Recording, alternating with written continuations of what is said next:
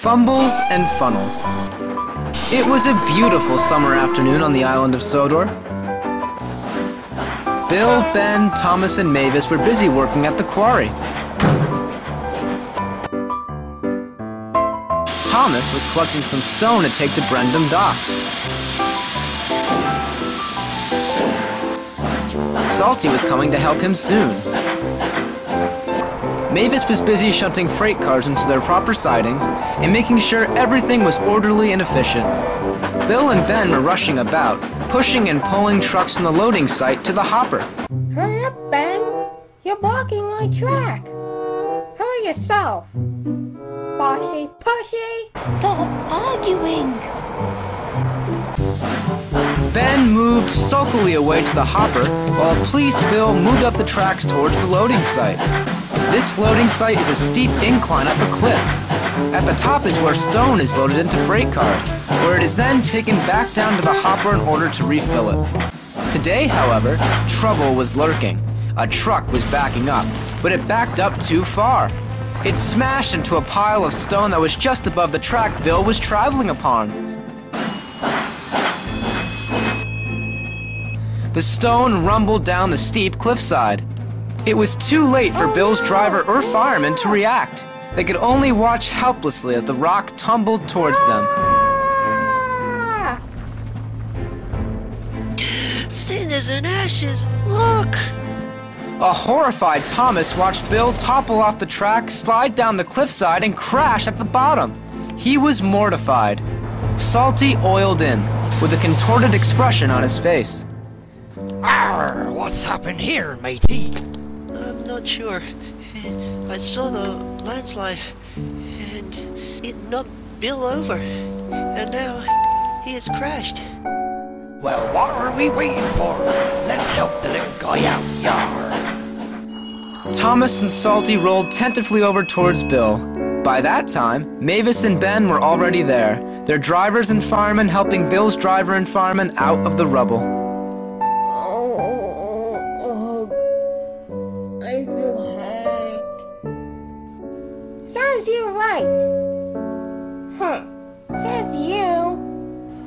The quarry manager telephoned the yard, and Edwards soon arrived with the breakdown train. My, my, what a mess. Was anyone hurt? Ahoy, Edward! Arr, it doesn't look good, me hearty. They are injured, but nothing serious. But they won't be able to work for a while. Well, it could have been worse. Let's get Bill back on the rails. Ben pushed him back to the shed. A funny sight. You're dented and battered. Bill gave no reply. It took weeks to repair Bill. All the while, Bill was still grumbling. At long last, Bill was repaired. His driver and fireman were still not recovered, so substitutes were to come until Bill's driver and fireman were ready for service. The next day, the engines worked hard, but the trucks were being difficult for Bill. Leave us alone. Leave us alone.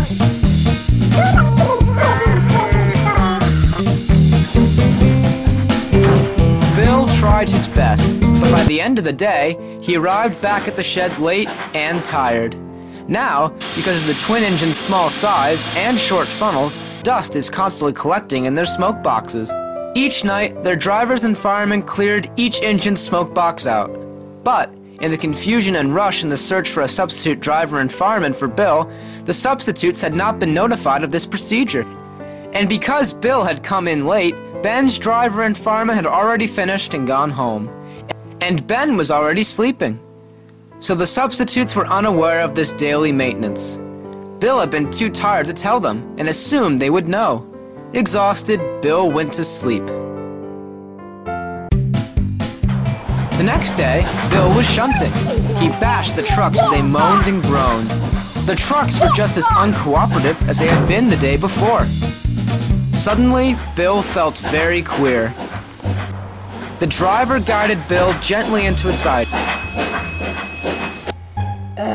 I feel stuffy. Got out and inspected him all over. Your funnel is blocked with dust. Didn't you clean it? I was supposed to clean it? Yes! Diesel pushed Bill back to the shed.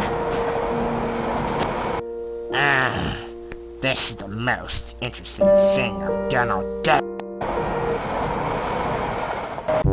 That night, Bill's smoke box was cleaned, but Ben started to tease him. Right after you are done being repaired, you have another accident.